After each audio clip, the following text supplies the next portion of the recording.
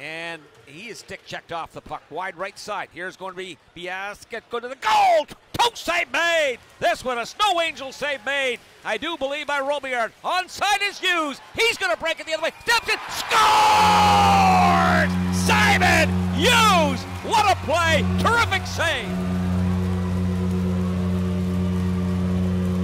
One big save at one end, as you said, as Biasca got in behind and Robillard kicks out the pad.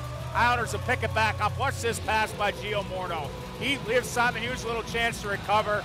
Then he airmails one to center on the tape, and Hughes upstairs, blocker side on Mathis Rousseau.